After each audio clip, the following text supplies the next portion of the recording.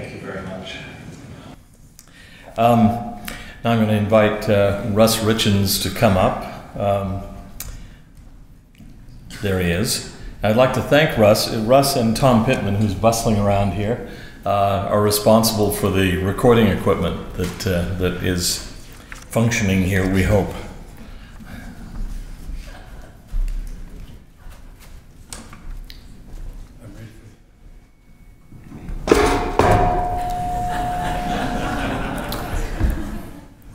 That wasn't even intended to be dramatic. um, can you imagine what it would have been like for Emma to um, have to move something like this around all the time? Always covered up, never could see it.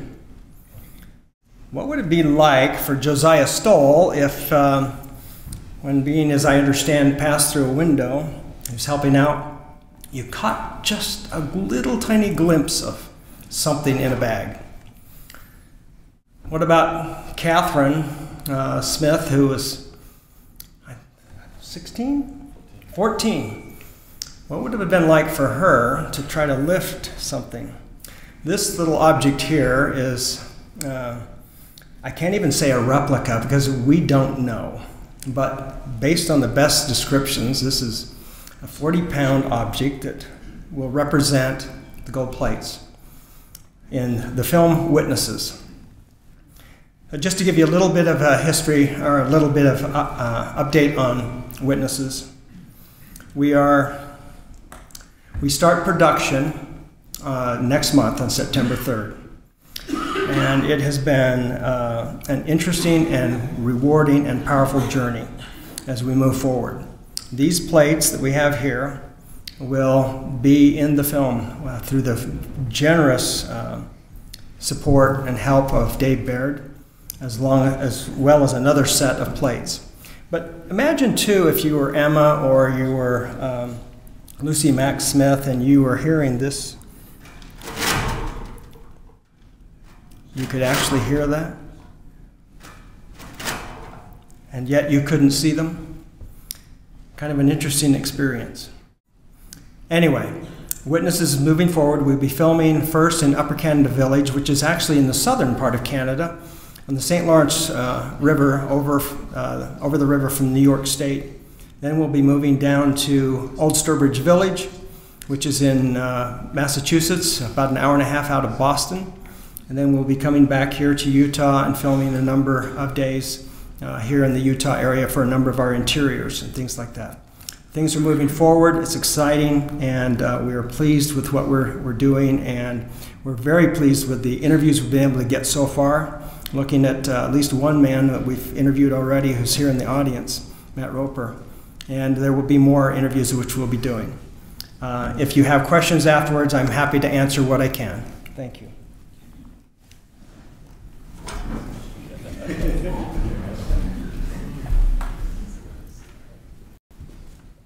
Now we have a chance to hear um, from my friend Royal Skousen, who I think doesn't really need much introduction for most of you. He's responsible um, in, in a remarkable way for one of the most remarkable scholarly undertakings that the church has seen, uh, and certainly uh, a really important landmark project in connection with the Book of Mormon, that is the Critical Text Project on the Book of Mormon. He's going to speak to us a little bit about, um, about a couple of books that are forthcoming in that project, which has been ongoing now for about a quarter of a century, a little more, right? Uh, this weekend, I will be doing the final proofing for uh, part five of volume three of the critical text. It's called the uh, King James Bible in the Book of Mormon. And the next few weeks, I will be finishing up the proofing for part six uh, Volume 3, Spelling in the Manuscripts and Editions.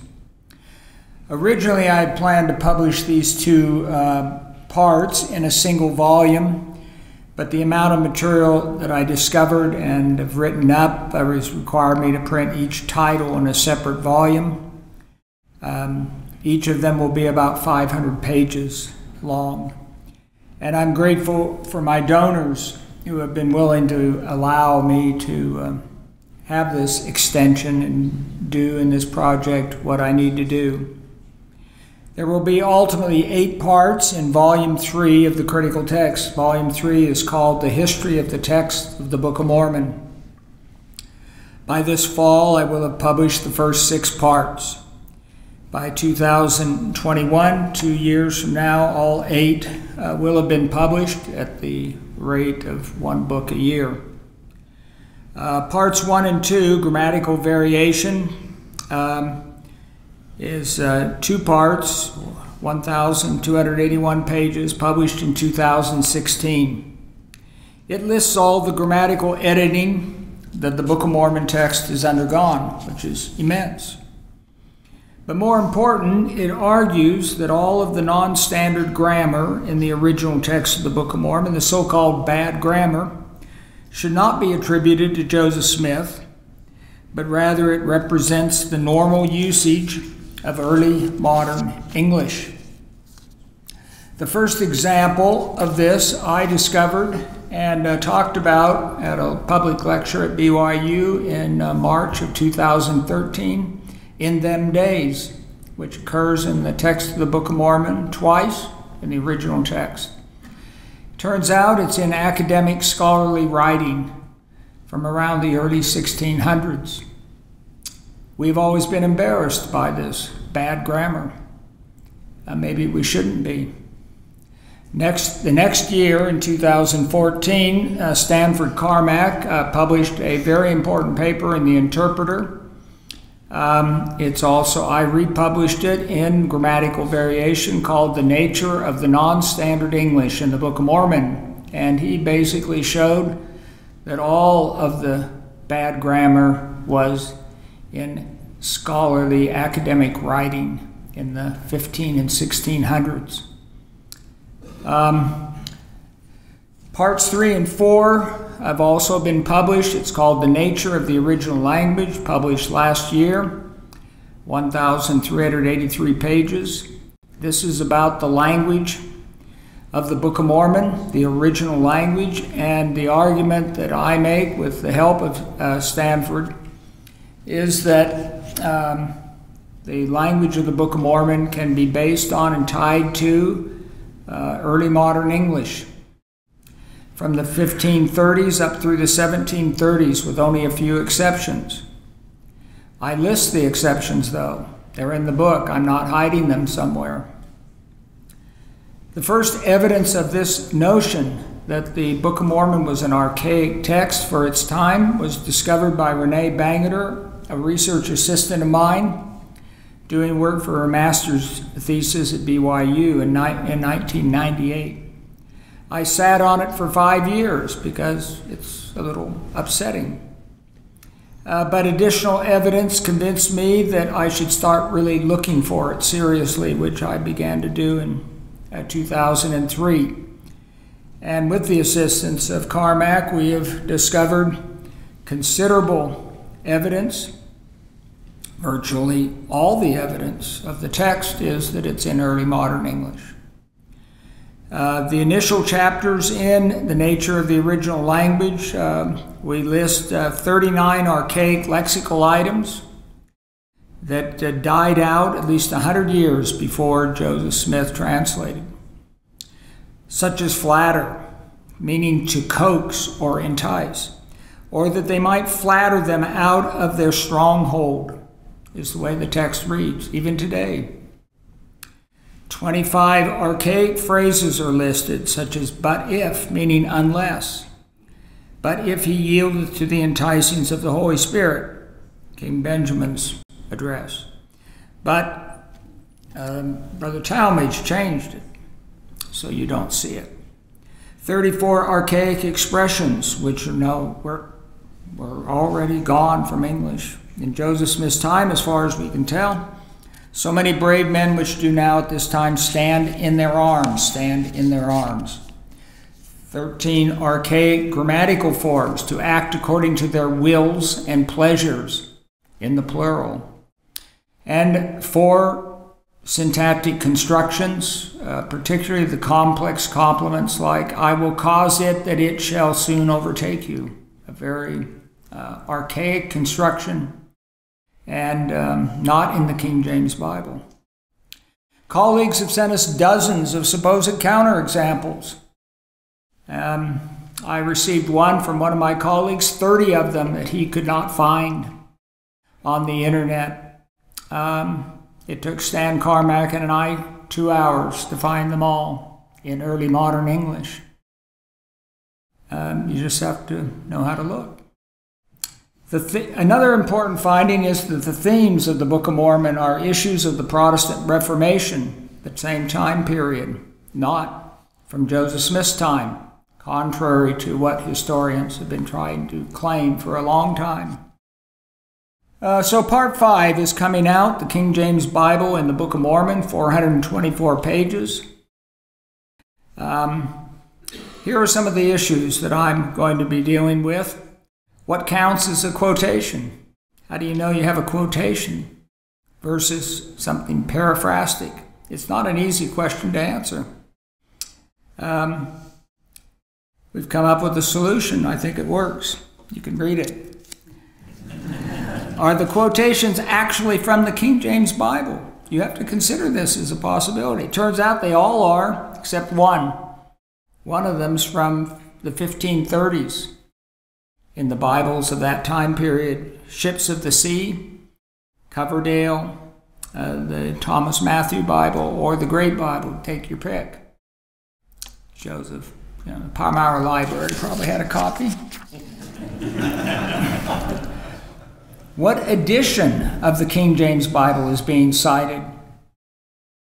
So I examined quite a few copies, actual copies, and um, it's difficult to be precise. I know some people are claiming they know exactly which one. This is really fudging, in my opinion. But the date is after the 1670s, for sure. That is pretty clear. Uh, did Joseph Smith hand over a marked up Bible to Oliver Cowdery to put to write down the text? We know this is not true. Uh, the misspellings that Oliver Cowdery writes in are the typical, all the typical spellings that he miswrites when Joseph dictates the text to him. He is not copying from an actual Bible. Um, how did Joseph Smith use the Book of Mormon in his new translation? There are some play he believed the Book of Mormon came from uh, was was the inspired version, so to speak, and so he had it copied from the 1830 edition in certain places right into the King James translation, not realizing there were all these errors in the 1830 edition. So they're in your the inspired version. Well, we don't call it the inspired version anymore, do we? Um, are there any significant differences in all these biblical quotations? that are really worth considering. There are. There's a whole chapter I give to it. Some of them are quite surprising. How many of the differences rely on the italics in the King James text? Boy, a lot of people get worked up over this. Well, only 23% of the changes involve italics. So you got over three fourths of them have nothing to do with italics. So if you've got a theory of what Joseph Smith's doing, you got to go beyond italics. There are some clear cases which look like they're connected with italics. I list them, so they're in the book. Otherwise, there's very little evidence of it. There's about six expressions that show it. The best example that italics is not being used is the Sermon on the Mount and how it gets changed in the Book of Mormon, which is really quite, it's really very different. About what about anachronistic King James elements in the quotations? There are mistakes in the translation, and they are put into the Book of Mormon. So instead of a girdle, a rent. It should really read instead of a belt, girdle means belt anyway, instead of a belt, a rope, not a rent. Or cultural translations, the King James Bible culturally translated because they didn't. They said, "Do men light a candle?" They, and they put it on a candlestick. That isn't what the Greek says. Do they light a lamp? And do they put it on a lampstand? Now, this is a problem for some people. They get really worked up about it. Um, I don't have a problem with it because the Book of Mormon is being connected to the period of early modern English, and the Bible of the early modern English is the King James Bible, and they're just going to use the King James Bible. And we just live with it. It's, I don't consider it a problem, but it is for some people. Um, the evidence that I have been finding is that the translation of the Book of Mormon is a cultural translation, that we may understand it, and that it's a creative one. So the translation process is introducing elements which are not on the plates, is my belief. Unless, of course, the Lord told Mormon, write bar here. You stand before the bar of God, because there is no bar of God in the ancient world. It's only it's a medieval thing. Well, the other book you'll you'll want to get a copy of this. I think this is, you know, part six: spellings in the manuscripts and editions. George Horton in 1983 wrote an Ensign article which has caused quite a lot of misunderstanding about. He made numerous claims about the spelling uh, during the time period and uh, many people quote them even today, like spelling had not been standardized when the 1830 edition was printed, or the 1830 edition used Oliver Cowdery's misspellings, or the 1837 edition corrected all that bad spelling. These are all false. They're, they're not even slightly false, they are totally false. Well, we have an cha- introductory chapter has to deal with this. It's sort of a shame when you get something like this and people want to repeat it all over. But the majority of part six is about analyses of non standard spellings. We do consider these spellings. There are three types of scribal spellers. One is a fairly good speller, but his handwriting is very poor. This is scribe 2 on the printer's manuscript. And um, I will give evidence in part seven, which is in the series, that this scribe is Martin Harris. We don't have, we have some now actual samples of Martin Harris's writing from the 1820s, small sample. It matches. Uh, Martin Harris looks like he was back in favor a little bit. Oliver Cowdery is a second rate speller, but a very beautiful hand. But he is not the great school teacher that we somehow think. But it's interesting about Oliver, as he's copying, he learns how to spell. And we see it like exceeding. He misspells it throughout the original manuscript. He gets he's, got, he's going through the printer's manuscript, he's just copying it from the original. He's misspelling it. One E, E X C E D I N G. Every time misspells it all of a sudden in 3rd Nephi 12 and 12, in the printer's manuscript, he spells it correctly, and he spells it correctly all the way to the end. This happens several dozen times where all of a sudden Oliver learns how to spell a word.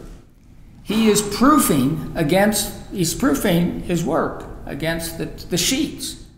And the typesetter is doing it correctly, and he says, Oh, I've been misspelling this. And he learns it. Now, this is important because Oliver Cowdery is learning to become smart.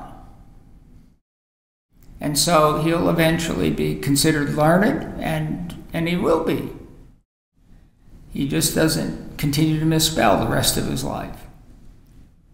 A lot of our early church leaders never learned how to spell. Okay, there are two other books that will come out next year and the following transmission of the text from the manuscripts through the editions. Um, we'll consider Joseph Smith's dictation of the text, what the two manuscripts tell us about how Joseph Smith translated.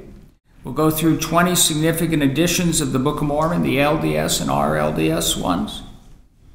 Um, there'll be photographic representations of select pages according to size, so you can see which ones are this big and which ones are this big. And uh, there will be an emphasis on the textual changes, the kind of editing they have undergone, and formatting changes. Formatting changes make a real big difference in how you read a text. And um, we'll see that. And then there'll be a number of significant independent editions. Part 8 will be on Book of Mormon textual criticism. Um, one of the big issues that I'm interested in is conjectural emendation. Some people get mad at me because I make conjectural emendations. Well, there have been conjectural emendations made in the text right from the beginning. When Oliver's trying to copy something from the manuscripts, he doesn't can't figure it out, so he makes a conjecture what he thinks it is. The current LDS text has about 650 conjectural emendations. The Yale text of the Book of Mormon, the one that's based on the critical text, has 350, so a lot fewer. Um, Another interesting thing is Book of Mormon translators. They have to translate things which for them seem like garbage sometimes. And so they make emendations. And one French translator in 1840 made 20 of my 130 30 emendations. So, you know, it makes me feel good. You know, there's a light mind out there saying, oh, there's something wrong with this. And and came up with 20 of them. We'll talk about previous critical text work in the Book of Mormon, and then we'll talk about the history of this project. So I'm grateful for Dan for allowing me to present a little bit, and I'm grateful to the Hafens for allowing me to indulge a little. Thank you. Interpreter, as it currently exists, has three main focuses in the sense that it's uh, taking in money and dispersing funds to support. One is obviously the film that's been represented this evening. Another is our involvement with, we're not the only ones involved with the uh, Critical Text Project, but we're happy to be involved with it. Uh, and then the rest of the function, the regular weekly publication and so on. So that's all represented more or less this evening. And uh, but now I'd like to turn the time over to Noel Reynolds to introduce uh, Elder and Sister Hafen. Good evening. Uh, I've really enjoyed getting to know some of you that I only knew as names on uh, emails and so forth, and it's uh, and to renew acquaintances with some of you that I haven't seen for years. My wife Sydney and I were freshmen at BYU in 1960. That is in the same uh, millennium. Uh, and so was Marie Kartchner and we, all the three of us met uh, in a variety of freshman honors classes. BYU was just launching a new honors program. Uh, I remember Marie quite well from that because she was the only person that got a higher score than I did in the English class that they offered us. she doesn't remember that. I, I, do. I do. Not that I care about grades, but. Um, but at that time, Bruce Hafen was already on his mission, and so he came back about the time I left, and uh, Bruce and I didn't meet as undergraduates that I can recall. It, uh, uh, but we have become friends over the years, and I thought I would just share some informal things with you. But I, uh, as I thought about it, I realized that a lot of you. Um, don't know the Hafens. And I think I would like to share with you the actual bio that they have prepared. It's a, a short and integrated bio. Uh, we live in the same ward, so we tend to see each other every Sunday, and, it, uh, and I don't want to take too much for granted here. But Bruce grew up in St. George, Utah, and served his mission in Germany, and they met after his mission at BYU, married in 1964. Uh, he received his bachelor's degree from BYU and the uh, Juris Doctor degree from the University of Utah. And so, after practicing law in Salt Lake City, he went to BYU as a member of the original faculty of BYU's law school. That's something we have in common. Uh, I was on that original faculty too as a. Uh, uh, I was in the philosophy department and I was teaching one class, philosophy of law class. We didn't run across each other there either. Um, but he taught family law and constitutional law. And uh, Bruce actually prepared a couple of papers in family law that were very important uh, uh, for the church and also uh, signal papers in the field. He then served as president of BYU Idaho from 1978 to 1985. So that's what, about seven years? Uh, so and then uh, came to BYU again as dean of the law school, and later served as provost uh, with Rex Lee, right? Uh, and uh, was called in 1996 as a full-time general authority. Served in area presidencies in Australia, North America, and Europe. So the Hafens have traveled, uh, serving in that area presidency function in the church. He uh, served also at church headquarters, where he was an advisor to various of the committees, the priesthood department, the uh, general auxiliary presidencies, church history, uh, temple department, and became an emeritus general authority in uh, 2010. They were then called as president and matron of the uh, St. George Temple and served there uh, the standard three years. Uh, more recently, and this is a calling that not many of you will receive, uh, he served as chairman of the Utah LDS Corrections Committee. And the church is organized in the prisons uh, throughout Utah, and, uh, and Bruce was um, in charge of that for a period of time.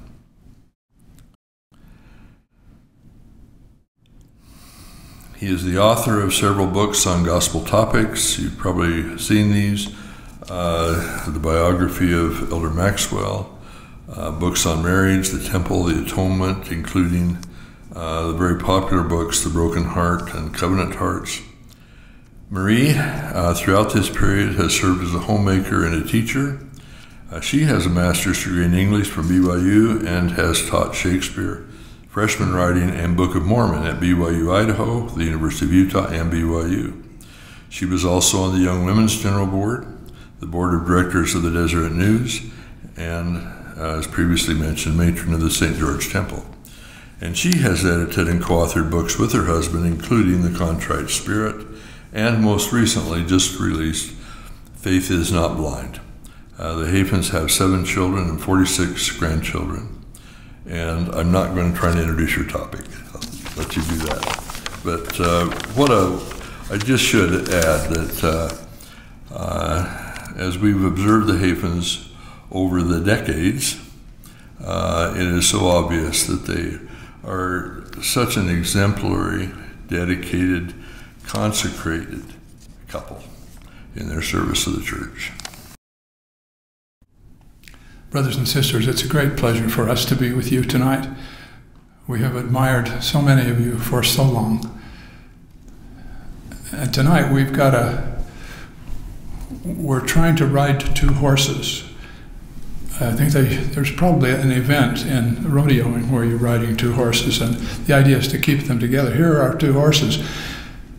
Uh, we were originally asked to talk about faith is not blind, but we realized that a, a, fraction of you heard our presentation at FAIR just a couple of days ago. I guess we could do a pop quiz and see if any of it has stuck after that long.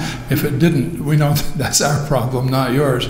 But we've also been encouraged, since many of you have heard it, to just do a, a, a very shortened version of that. And I think the advice was just tell some stories. And so we'll, we'll try to do that. Um, so, so Marie will start with our, the summary of our topic, Faith is Not Blind. And for those who want to, to, to, see, I guess this is the Monday morning football highlights version. Uh, looks like all everybody catches the passes in the end zone, but if you want to see the version where they drop the passes, then uh, we have also done a more complete version of this uh, for uh, a devotional at BYU Hawaii a couple of years ago. Earlier this year, a, a forum assembly at, at uh, BYU Idaho, and those are online. And so we will with, with that explanation, sort of zoom through the first part and then tell a couple of stories.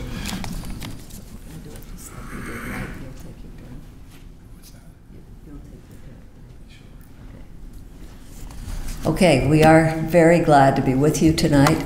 And as Bruce said, what we're going to do is you're going to feel like you've got the 2x twice as fast thing going here. So we'll try and give you a little bit of background on what we have been invited to talk to you about, which is this new little book called Faith is Not Blind. Uh, Bruce and I met in a religion class at BYU, which was called Your Religious Problems. We solved our main religious problem by meeting each other. Uh, the class format was that we would choose a religious issue or a problem or a challenge that we wanted to investigate, do some research on, and then we would present to the class what we had found, and then each of us at the end of the class period would write a response to the person who had presented.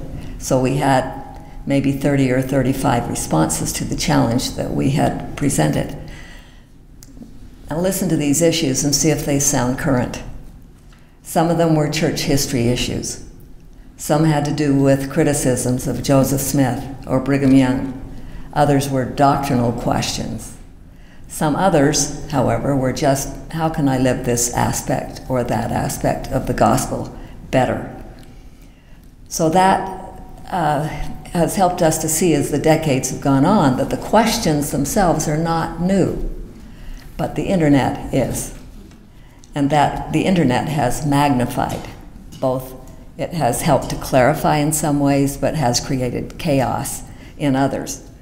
But that class did help us to see that there is a natural tension between the ideal that we're all trying to reach and the reality of our lives, which often conflicts with our ideals. So, as you can see, I hope, am I standing right in the way of a lot of you? Not missing much. Yeah. um, I don't know how we can solve that. Although I could take this and stand over there. You're okay. You'd have to be a lot bigger to watch. You're in Okay, I'm okay, okay. So, with the real and the ideal, I think you can see that um, we all are aiming for the ideal, but the real, the realities of our lives, make it so that it's hard for us sometimes to reach those ideals. The realities are black and white. There's a little, just well, let's let's back up with that. Let's just call it level one. We need to explain the gap Yes, we will. We'll explain the gap, Before you talk. but they can't see the gap yet. Okay. Um, we'll approach it that way. So, when we're young, we tend to see things idealistically black or white, little gray. We're typically idealistic, optimistic, loyal, teachable. I just remember everything I read, I believed. I don't know if you were like that at 14 or 16. New converts are similar. But then you start to see some natural tension, as we mentioned, between the ideals of the gospel and the realities of life, between what is and what ought to be. Then you begin to see the gap, the distance between where we are and where we'd like to be. So here's what the gap looks like. Examples, very quickly, we see human limitations that we haven't seen before. Maybe it's our parents, maybe it's church leaders, maybe our prayer goes unanswered for a long time. Maybe there's a health issue that we hadn't expected. Often these things are not what we had expected. Or we come across something on the internet that we just had not expected and it just kind of throws us. So the gap, though, stretches us because we're trying to reach beyond where we are. But it can produce some confusion and some uncertainty. And you know that there are scriptures, even, that if we take just one for example, you've got justice and mercy, and they seem to be contradictory, or at least how can you balance them until you take them together with the atonement? So life is full of uncertainty, and learning to manage the gap is a big part of why we're here on earth. So Lehi's dream is also a good illustration of the fact that there is ambiguity and um, sometimes difficulty with trying to manage even the scriptures. We've got the iron rod in Lehi's vision, but we also have the mists of darkness. So, uh, managing that gap is what we're talking about tonight.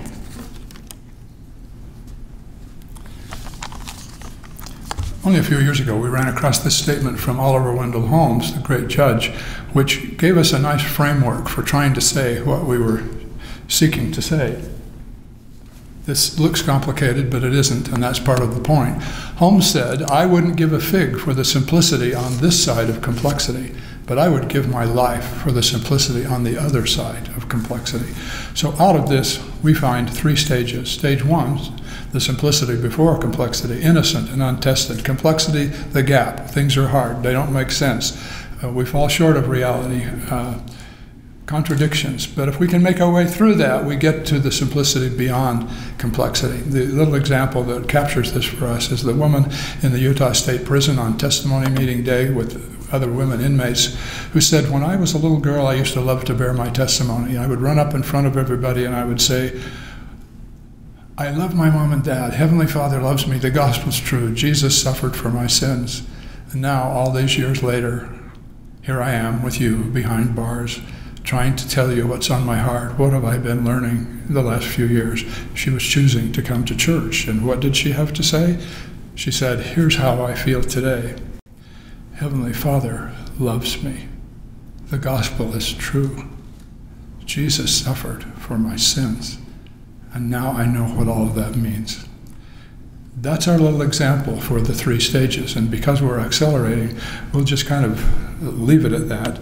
Uh, some, there are challenges that we talk about in the longer version. Some people kind of get stuck in, the, in stage one, the simplicity before complexity, such as those, as the psychologists say, who are in denial about reality. And until we can see both reality and the ideal, we can't really solve our problems.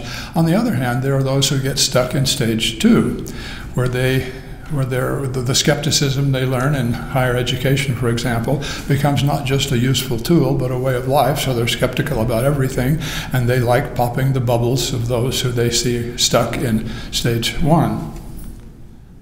So it's best if we can do both, and then move to the simplicity beyond complexity. And I'll, I'll let Marie do that. Uh, this is the fast version, so we're leaving out quite a few things think you can. Really, really have to move. Yeah, I think you can see that. It's not a blind, it's not a blind obedience, but it's a trusting obedience. It's a wise and informed obedience. And faith, one that chooses to believe. Let me just give you one little example that shows someone who went all the way through all those three stages. This was a young woman that uh, we know grew up in a Mormon home, uh, fast track through young women's program, her young womanhood's medall- young womanhood medallion at age 14. When she got to be 18, somebody suggested to her uh, the idea that women ought to hold the priesthood. And she got so invested in that idea and so convinced by it that she decided to pull her membership out of the church. She went to college after that, and a couple of years later, her roommate wanted to hear the lessons, so Holly sat in. The missionaries challenged them to pray. She decided that she would pray. But the second that she said, Heavenly Father, then her heart started to melt. And she developed what she called the closeness with her Heavenly Father, a tender relationship with Him. And a little bit later, someone asked her, What about that issue that you had earlier? And she said, You know, that has not been such an issue now that I think about it. She said, I have a relationship with him. I trust him. He knows what he's doing. So you can see how she had gone from that innocence into the complexity, but then into the innocence, excuse me, the simplicity beyond complexity.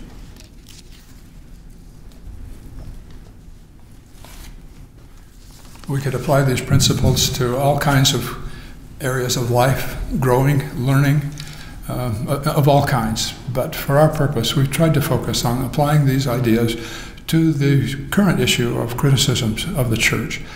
And the story we'd share here just briefly is about a friend, someone we've known for a number of years. We call him Matthias. He is, uh, grew up outside the U.S., but in, a, in, an LDS home. He went on a mission, returned, was married in the temple, uh, they had several children, and when he was in a local leadership position, he began getting questions about issues he didn't know how to answer.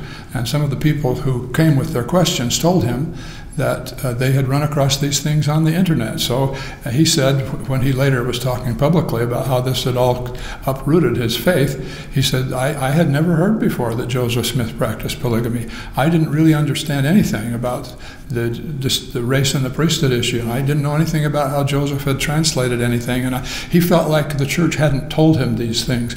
We know others in his family who said, Well, the church told us. We don't, we don't know why that was new to you. And as Marie said, we ran across these things so many years ago in a BYU class. But his case does illustrate the problem that in the day of the international church and the internet, We've got to do a better job of teaching the advanced curriculum. There are good reasons why we haven't. As we've observed the church over a couple of generations, it's been essential in the international growth of the church that we provide material that is simplified, accessible. People of all languages and cultures, many who are new in the church, can access it. But uh, in more recent times, I think the church is realizing how to deal with the need for a more complete version for those who are ready for it.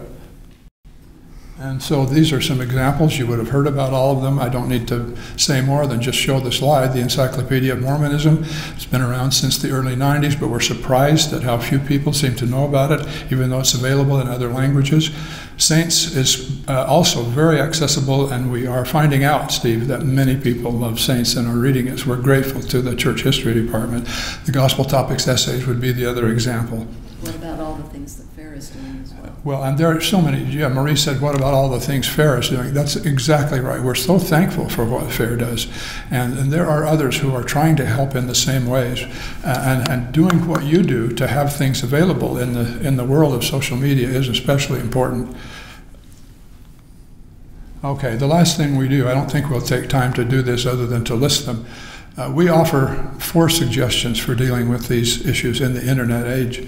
Uh, Marie, do you want to say one word about each? No, why don't you just, I think they could ask if they had a specific question. Okay. Uh, well, you can, you can see what they are. Uh, is it okay to ask questions in the church? Answer yes. Uh, should we be cautious about the internet's weaknesses? I think you all know the answer to that. In fact, you could all stand up and probably talk about these subjects. Uh, and, and, and, the one on focus, I, will just give you this one. This was in Noel's honor because he's from Wyoming. Our example on focus on the restoration's positive content is the golf course at the foot of the Grand Tetons, where imagine a golfer who's there golfing, but he spends all his time looking for balls, lost golf balls in the rough, instead of looking at the magnificent mountains. That's our analogy, the mountains of doctrine that Joseph gave us let, let's, let's appreciate that and not just get lost in the rough looking for those lost balls. And then meekness, our only comment on that is from Elder Maxwell. I mean, I'll, that's one. I'll, I'll spare you everything else that's there, but but would quote this from him. Doubt can doubt can either strengthen or weaken faith, depending on our supply of meekness. We've got some examples for that. You can imagine what they'd be. See this? It really is the Monday morning highlights version. And we're even saying this was the pattern of Adam and Eve. The garden is stage one. The going into the lone and dreary world is stage two. Talk about complexity. And then finally, the angel comes to teach them what's really going on here with this ordinance they don't understand. Once they get that, Eve said, we read of Eve, Eve heard all these things and was glad. Were it not for our transgression, we never should have known the joy of our redemption and the eternal life God giveth to all the obedient. So it's that fundamental. Then, uh, our, uh, some of our children and their friends have pointed out to us that we have this problem. Uh, Maria and I are at the stage, this wouldn't be true of any of you, of course. Once we've said the word social media, we've exhausted our knowledge of the subject. But, but our younger generations tell us if you really want to be of any help to those who are younger, they're not going to go into Deseret Book and read books. They're out there on online talking to each other. And so they've encouraged uh, and have now created just within the last couple of weeks. So you can, those of you who would be interested, uh, there's a uh, there's a website, faithisnotblind.org, and there is a, a Facebook group, and there are podcasts on the website.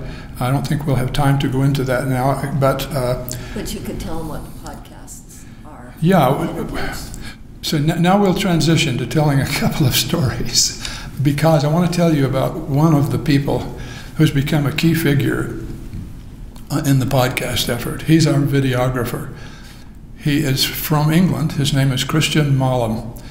He has a wonderful wife named Elizabeth. They're probably about 40, and they moved to BYU, Idaho, just a couple of years ago to take a job in the communications department to teach film and video and social media. He's a counselor to our son-in-law in a bishopric at BYU, Idaho. These two, they've become close friends. And as they've talked about this project and have gotten into it, they're the ones who are saying to us, here's what we need to do. Well, with uh, so Chris is doing the video for all these podcasts, and he's just excellent at it. So that's my transition to wanting to tell you this story, and it will bring me to, to, a, just a concluding comment. Uh, we first met Chris Mollum, our videographer, when he was in the hospital at the University of Utah he had he had a number of issues. He, it, it, they weren't at all sure that they would he'd be able to keep his leg. Then they weren't even sure that he was going to live. He went through some really hard experiences. Our daughter and her husband, who knew him so closely, told us how hard this was, invited us to come to the hospital and help give a blessing, which we did. Chris is okay now. He's got some longer term issues to deal with, but he's functioning well. And uh, when we first met him, there in the hospital room, and they wanted us to they were sort of, who do, who do you know from so and so? I guess it was our daughter who said, Chris, tell them how you're one of Neal Maxwell's boys.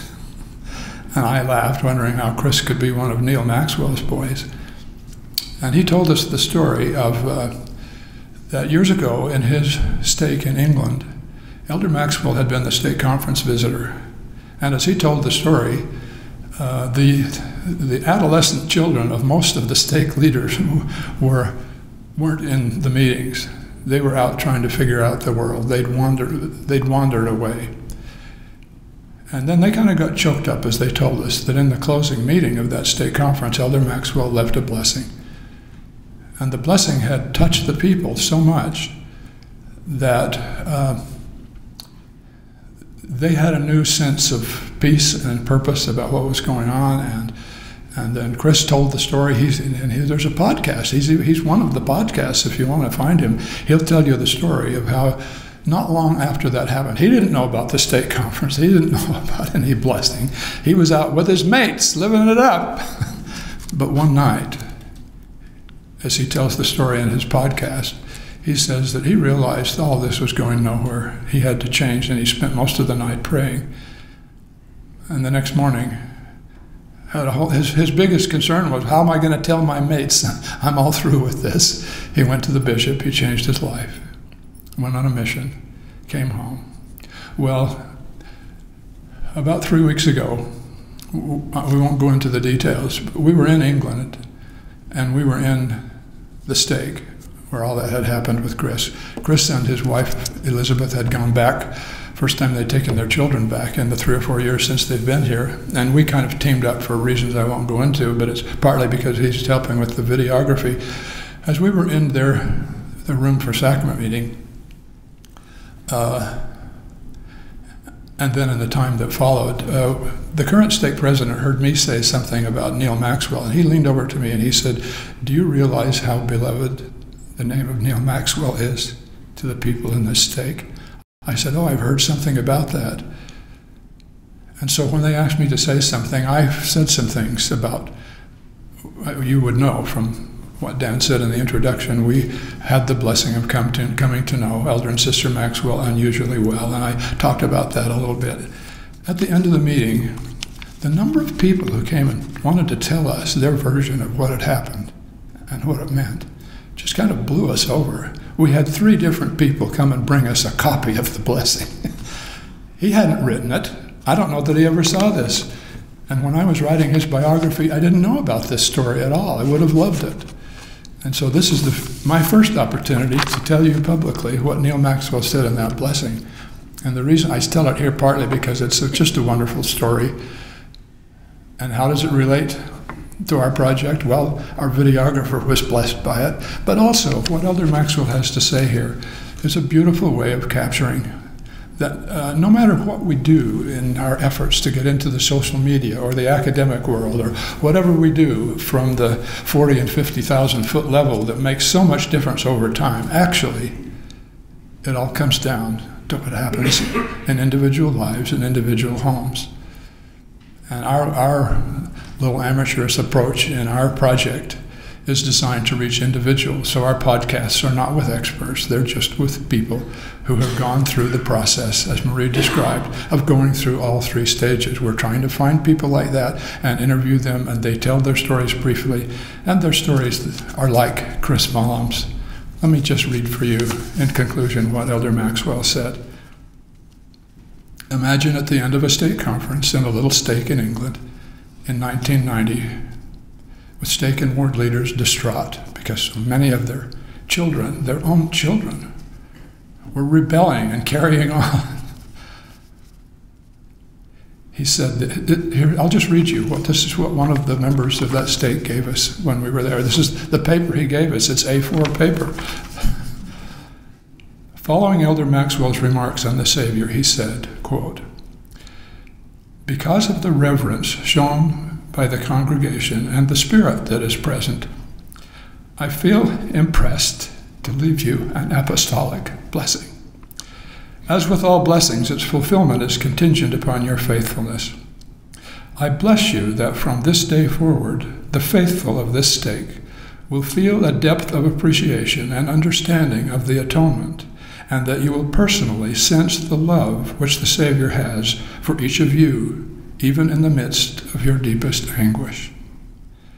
I bless you within your marriages and families that there will be greater feelings of love for each other and that your children will feel this love and will taste the sweetness of an LDS home, and that in comparison, the things of the world will taste sour to them.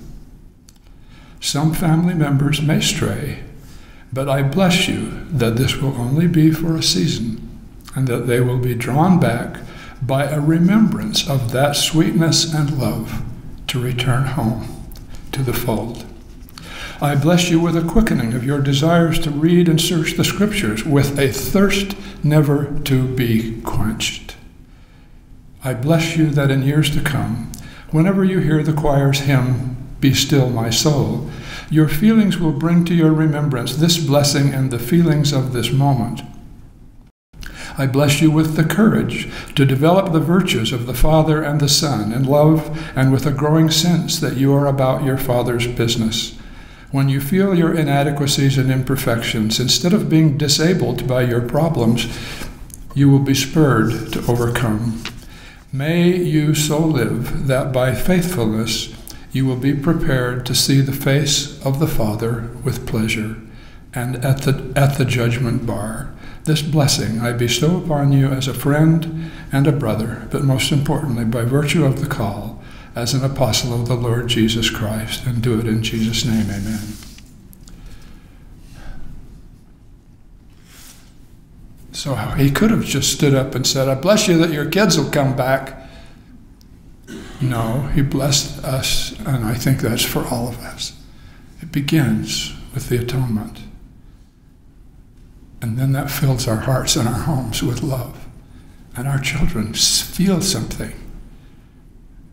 And when they're wandering, tasting the things of the world, like Enos in the forest, they'll remember the sweetness. And it's better than the sour they've been tasting. and they'll come home and they'll learn to love the scriptures with a thirst that can't be quenched. I think that's what interpreter is all about. It's what all of us are all about. I know the Lord is in what you're doing. I'm so grateful for that. May He bless all of you. May He bless all of us in a church that's trying to cope with a, a world that's increasingly sour. I know He lives and loves us. In the name of Jesus Christ, amen. amen. Now, Maria is going to teach us a closing song that's part of one last story.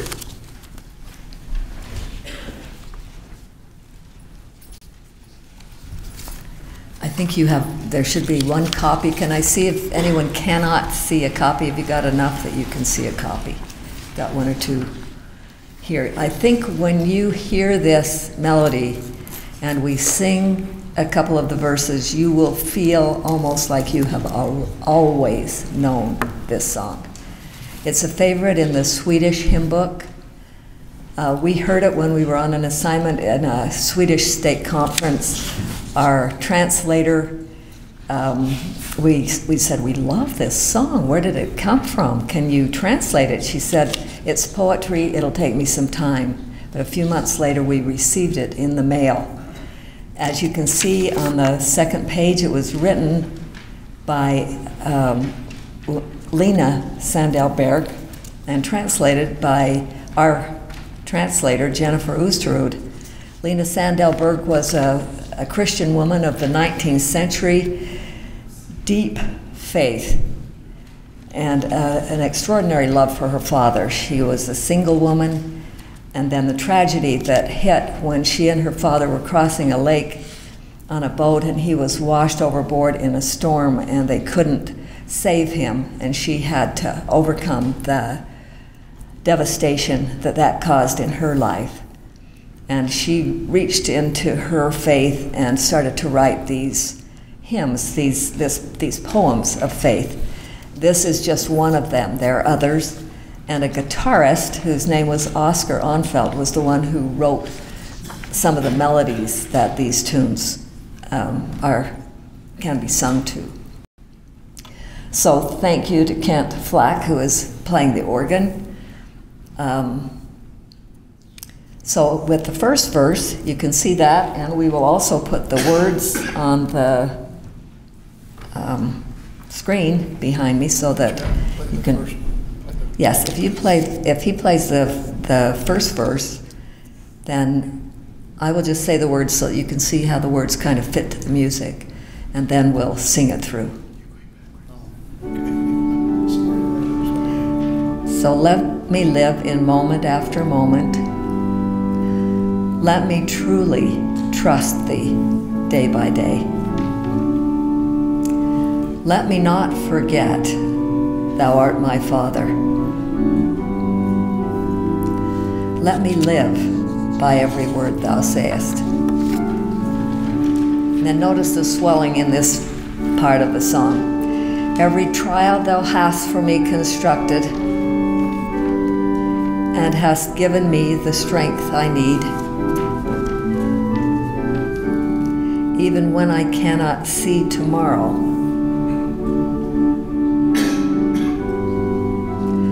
May I pay thy counsel every heed. Okay. Let's let's sing that first verse again. Give you a chance to again to feel the, the melody of that.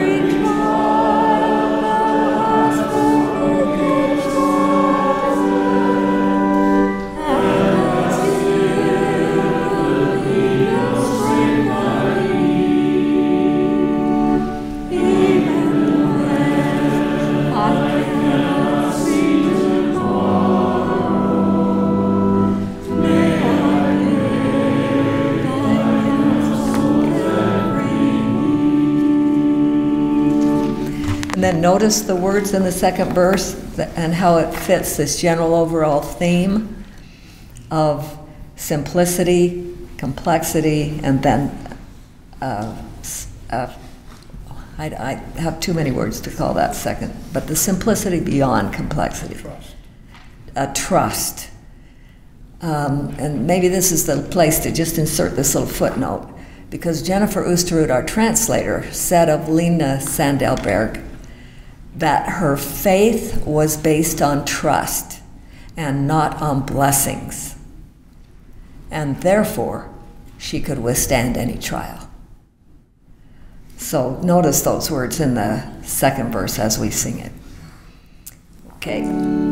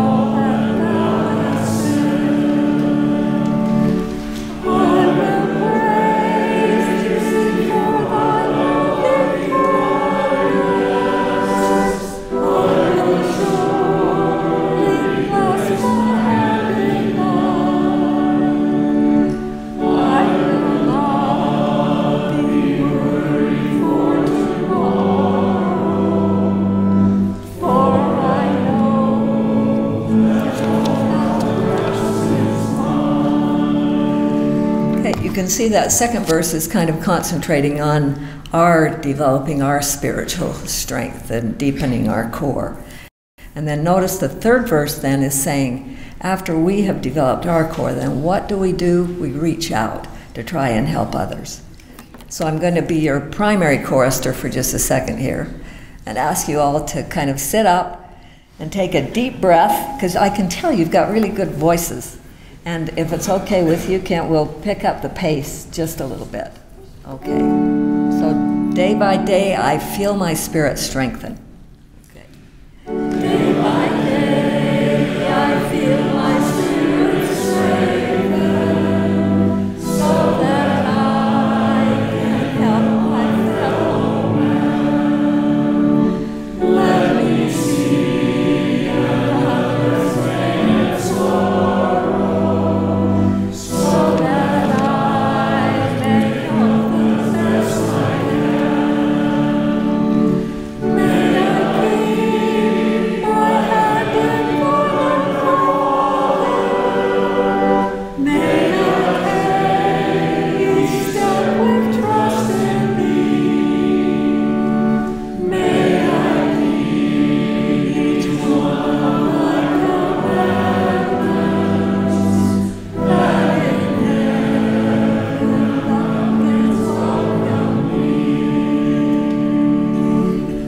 Thank you so much. The Tabernacle Choir better watch out. I'd like to thank, uh, thank Brother and Sister Hafen for, uh, for speaking to us and sharing that with us. And uh, my wife and I were trying to think of something we could give them, and uh, we found this book. It's a book that uh, David J. Larsen and Jeffrey Bradshaw, who's our, our, one of our absentee vice presidents who's serving a mission in the Congo, is second in two years, I think, three years, uh, with his wife. Uh, they put this together called In God's Image and Likeness Enoch, Noah, and the Tower of Babel. It's uh, published by the Interpreter Foundation. We'd like to give you a copy of this. So. Well, thank you very much to everyone for coming. Um, we appreciate all that you do and, uh, and all that you have given and all that you've done to help not only interpreter but the kingdom generally. And, uh, and we're grateful for that. This is a tremendous cause to be involved in. And uh, I'd, I'd, like to invite some of you, if at the end, some of us have a little meeting at the end of this, but uh, if you wouldn't mind, if a few of you would like to stick around, help put away chairs. That would be really helpful. I'm sure for most of you this will be a first. I don't think Latter Day Saints have much experience with uh, with putting out chairs and putting away chairs, uh, but you might enjoy doing it for a change. Um, so anyway, uh, thank you very much, everyone, for coming. We're grateful you were able to come. And is Deidre still here? Yes. If you'd be willing to come forward and offer a benediction, we'd appreciate it. Deidre is one of our volunteers who's been supervising uh, peer review for us. Uh, she also serves as a judge, which is intimidating.